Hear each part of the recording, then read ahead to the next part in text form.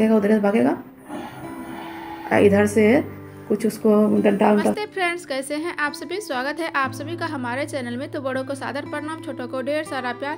Friends, ये है Sunday के दिन का ये सारा वीडियो लिया हुआ है और अभी आज सबको है छुट्टी। बच्चे भी घर में हैं, उसके पापा भी घर में ही हैं।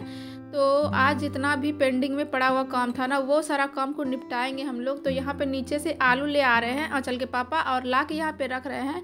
और हम यहाँ ऊपर काम कर रहे हैं नीचे से ला रहे हैं आलू। तो सारा आलू को रख रहे हैं पलंग के अंदर।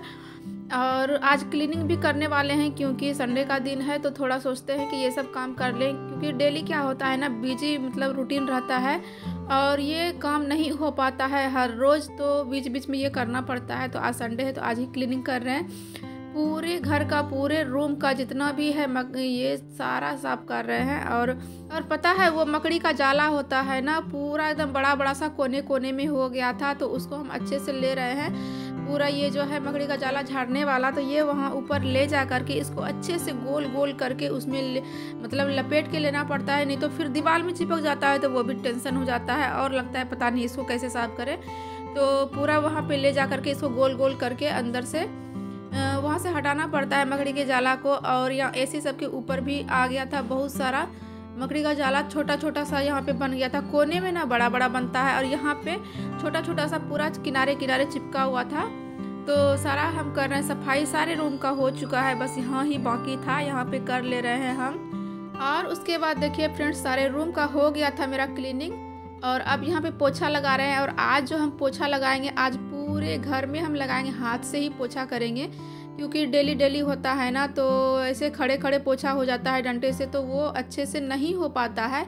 आप सभी देखते होंगे, ये चीज़ गौर करते होंगे कि किनारे दीवार का जो वो किनारा किनारा होता है ना, हर जगह वो धूल ना चिपका हुआ होता है, एक लाइन सा बन जाता है, डार्क डार्क जैसा वो दिखाई देता है धूल का, और हाथ से ना अच्छे से वो सारा कोने कोने साफ़ हो जाता है तो आज सोच रहे हैं छुट्टी का दिन है तो आराम आराम से सारा क्लीनिंग करेंगे हाथ से ही पूरे रूम में, ताकि किनारा का जो वो चिपका हुआ धूल है, सारा साफ़ हो जाए, क्योंकि डेली तो ये हाथ से हो नहीं पाएगा।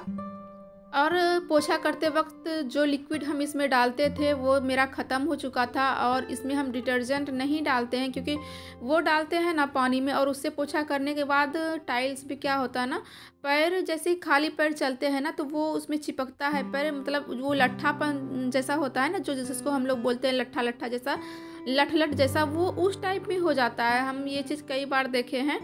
जब वो डिटर्जेंट नहीं देते हैं पानी में तो वो ठीक ठाक रहता है। जब वो दे के हम पोछा करते हैं ना तो पूरा पैर में चिपकता है। जब तक ये भींगा रहता है और सूख भी जाता है ना थोड़ा थोड़ा सा एहसास होता है कि पैर में चिपक रहा है कुछ। तो लट्ठा टाइप से हो जाता है, इसलिए हम डिटर्जेंट नहीं डाल रहे हैं। और ये ना पक्की पे जब नीचे रहते थे ना, उस पर हम पोछा करते थे, उसमें डेली डिटर्जेंट डालते थे और उसमें बहुत ही अच्छा से पक्की साफ़ होता था। और चिपकता भी नहीं था। पता नहीं ये टाइल्स पे ही होता है क्या? इसलिए नहीं डाले हैं, बस सादा पानी से हम कर रहे हैं यहाँ पे पोछा। पता है फ्रेंड्स एक बात डेली ना मोबाइल पे काम करते करते ना आँखों पे काफ़ी ज़्यादा असर पड़ रहा है, लेकिन समझ में नहीं आ रहा है क्या करें, कैसे हर चीज़ को मैनेज करें। मतलब घर का काम करना ब्लॉग बनाना शूट करना एडिट करना, फिर और बहुत तरह का काम हो जाता है मोबाइल में। तो ना आँख बहुत ज़्यादा मतलब दिक्कत हो रहा है एक तो दिखाई भी धुंधला पड़ता है, ऊपर से आँखों में दर्द भी काफ़ी हो रहा है, समझ में नहीं आ रहा है क्या करें, क्या नहीं करें और ब्लॉग छोड़ भी नहीं सकते क्योंकि ये हम लोग का काम है तो अपने काम को हम छोड़ नहीं सकते, चाहे जैसे करना है तो उसको करना ही पड़ेगा। क्योंकि देखिए, अगर हम चैनल बनाए हैं और मेरे चैनल बनाने से हमको करीब एक साल हो गया है पूरा और एक साल अगर हम इतना मेहनत किए हैं, इतना मेहनत करने के बाद अभी अब हम छोड़ नहीं सकते हैं। कोई भी आदमी इस तरह से मतलब अचानक से छोड़ नहीं सकता है अपने चैनल को, क्योंकि एक चैनल जो भी बनाते हैं ना तो उसके पीछे बहुत मेहनत करना पड़ता है, बहुत ज़्यादा। जो वीडियो बनाती हैं, जो ब्लॉग बनाती हैं, हमारे सिस्टर लोग, सभी को पता है कि कितना ज़्यादा मेहनत है, वो अच्छे से समझ सकते हैं इस बात को। बहुत ज़्यादा मेहनत है, फ्रेंड्स। हर चीज़ को मैनेज करना और कुछ भी हो जाए, चैनल को हम छोड़ नहीं सकते, वैसा ही कुछ रीज़न हो जाए जिससे कि मतलब होता है ना कि हाँ चलो ब्लॉग नहीं करते हैं, ब्लॉगिंग नहीं करते हैं, वैसा ही, लेकिन ऐसे हम नहीं छोड़ सकते हैं, बहुत ज़्यादा मेहनत लगता है। और उसके बाद देखिए फ्रेंड्स, मेरा सारे रूम में हो गया था, पोछा लगाया हुआ और इसके पापा भी आलू सारा ले आए थे, आलू भी ऊपर हो गया शिफ्ट और अब देखिए, और दूसरा काम बचा हुआ था। काफ़ी दिनों से हम ब्लॉग में बोल भी रहे थे कि यहाँ पे बहुत सारा बालू सीमेंट उखड़ता है। तो सोच रहे थे यहाँ पे सीमेंट दे देंगे घोल के। कुछ पड़ा हुआ था हमारे पास, जो बाहर पार्ट बनाए थे ना, बर्तन धोने वाला। तो वही वाला सीमेंट कुछ बचा हुआ था तो रख दिए थे। तो आज ये काम कर रहे हैं, संडे है ना तो आज बोले चलो कर ही देते हैं। तो सीमेंट प्लास्टिक में करके बाँध के रखे हुए थे। पता नहीं, हमको तो लग रहा है ना कि सीमेंट ख़राब हो चुका है, पर ये बोल रहे हैं कि नहीं, ख़राब नहीं हुआ है। अच्छे से सेफ़ से रखे थे, बाँध के नहीं हुआ है। और यहाँ पे देखिए, पक्की को भिंगा दिया गया है ताकि अच्छे से ये जम जाए इस पर और उसके बाद घोल के इसको डालेंगे इस पर बहुत ज़्यादा दिक्कत होता है, डेली का डेली एक एक सूप निकलता है ना, ये यहाँ से धूल। और अब तो गेहूँ सुखाना मतलब कपड़े पे वैसे तो हम सुखाते हैं हर अनाज को। लेकिन फिर भी कपड़ा भी बिछाना इस पर मुश्किल हो जा रहा है, इतना ज़्यादा बालू उखड़ रहा है। तो यहाँ पे घोल के दे देंगे और हम भगवान से मना रहे हैं कि जो भी मेहनत कर रहे हैं, हम लोग का मेहनत हो रहा है तो मेहनत सफल हो जाए तो ज़्यादा अच्छा होता है, बहुत ज़्यादा अच्छा हो जाएगा। यहाँ पे अगर ये सीमेंट का घोल अगर जम जाए अच्छे से तो क्लीन हो जाएगा, यहाँ पे साफ़ लगेगा चिकन लगेगा तो यहाँ पे अनाज पानी सुखाने में भी काफ़ी अच्छा हो जाएगा हमको। लेकिन पता नहीं क्यों हमको लग रहा है कि ये सीमेंट ख़राब हो चुका है। पर देखते हैं क्या होता है। मेहनत तो कर ही रहे हैं। जो भी हो रिज़ल्ट बाद में, लेकिन मेहनत करने से पीछे नहीं हटना चाहिए। अगर था हमारे पास सीमेंट तो सोच रहे थे कि दे ही दे। देखते हैं क्या होता है। पता है हमको ना क्या लग रहा है कि इसको ठीक करने का ना एक ही उपाय है। या तो इसके ऊपर घर बन जाए या फिर और कोई उपाय ही नहीं है, फ्रेंड्स। जब तक इसके ऊपर घर नहीं बनेगा, ये ठीक होने वाला नहीं है, क्योंकि यहाँ पे ढलैया हुआ था ना नया वाला।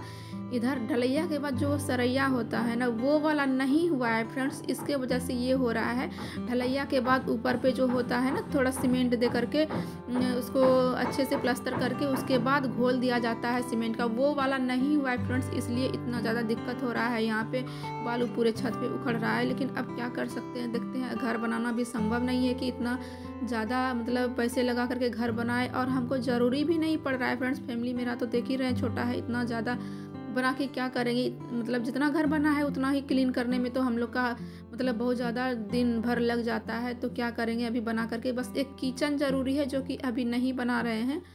देखते हैं कब कैसे क्या होता है। तो ये घोल बना लिए थे और हम ये देते ही जा रहे थे घोल और हम झाड़ू से इसको फैलाते जा रहे थे फ्रेंड्स और बस आज का रूटीन बस यही सब रहेगा, यही सब है। बच्चे लोग घर में हैं।